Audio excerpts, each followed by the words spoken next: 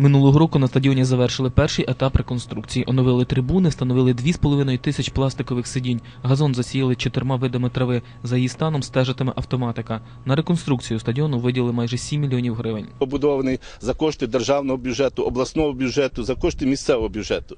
Цей стадіон побудований для жителів всіх жителів нашого міста, для наших дітей, щоб вони могли займатися, розвиватися спортом, тому що досягнення сьогодні і в спортивній сфері в місті досить таки е, значні.